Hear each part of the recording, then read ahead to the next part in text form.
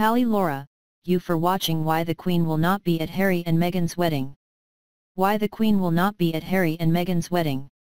The Queen will reportedly not attend Prince Harry and Meghan Markle's wedding due to restrictions placed on her as the head of the Church of England.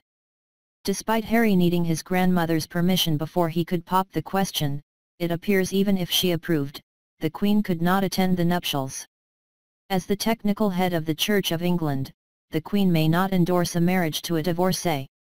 Markle, 35, was previously married to producer Trevor Engelson for two years but divorced in 2013.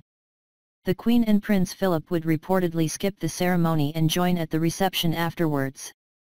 Similarly, they did not attend the wedding of their son Prince Charles to Camilla in 2005, given both had been previously married. However, Harry and Markle have reportedly been given the nod for a fairy tale wedding at Westminster Abbey after the church confirmed they could marry there. The prince and his American actress girlfriend could soon follow in the footsteps of the Queen and Prince Philip and Duke and Duchess of Cambridge, after a church spokesman confirmed to the Express there were no longer rules preventing the couple from marrying there, despite old rules once barring divorcees. However, it is understood that, in addition to the Queen's permission, Harry would still need a special license from the Archbishop of Canterbury before the ceremony could go ahead at this venue.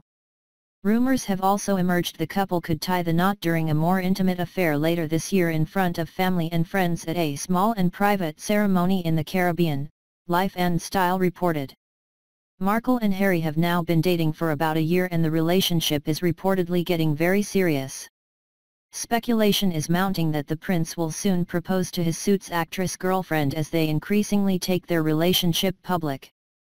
The two made their first official appearance last month at a polo match in Ascot, where they were seen embracing before his game and she accompanied him to Pippa Middleton's wedding reception last month.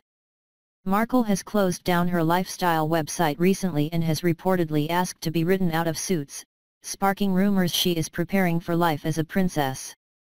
Thank you for watching, please share video and subscribe my channel for more video.